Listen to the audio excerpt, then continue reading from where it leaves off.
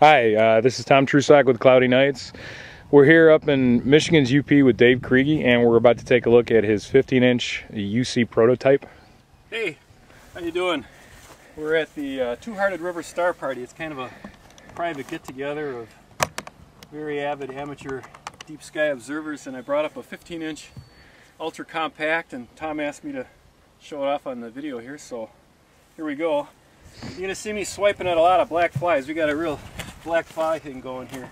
But anyway, the whole thing fits into uh, a small white polyethylene travel case. And you can store it in there or haul it in there. Uh, there's a couple different ways you can go. The idea was to um, come up with a scope that would fit into a small car. This is not the production rocker, it's just one I put together for the star Party because I didn't have the other ones done, but everything else is uh, production. But that's as tall as it is. You can put it in the back of any little car, a small uh, Toyota or any, any trunk or the back seat of any car. The uh, overall height when it's nested together is about 12 inches. You can put the cage, the upper tube assembly next to it, or you can set it underneath like this, whatever works. But uh, that's how I keep it real small. So I'll set it up here, only takes a few minutes.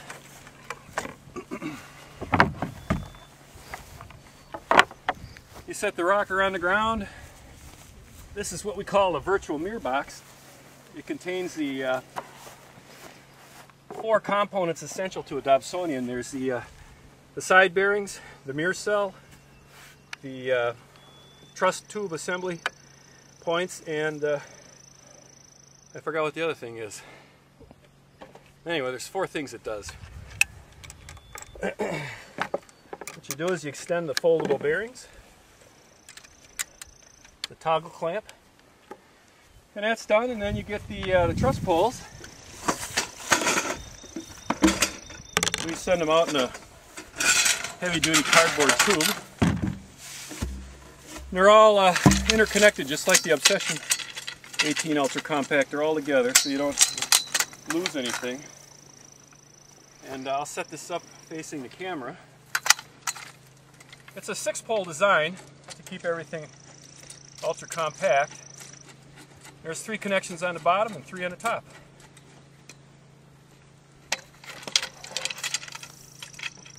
This is a 15 inch f4.2.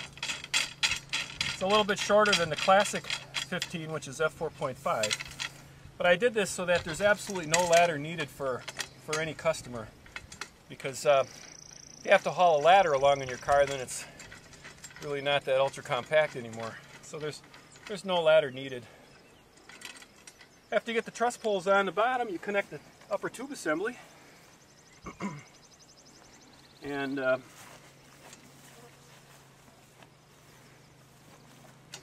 trying to get myself so you can see. There we go.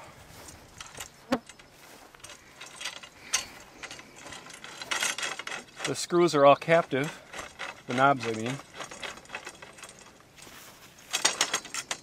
I notice it's all hand tool assembly. Yep, there's no tools required. It's yep. fingers. You can do it at night with a red flashlight. It's a piece of cake. Yeah. It's nice not to have to worry about looking for an Allen wrench or screwdriver. Collimation is all with your no fingers. Tools there's too. no, yeah. no tools needed.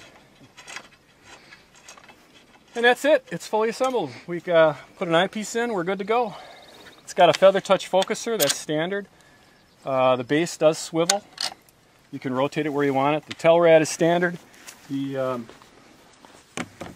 light baffles are standard.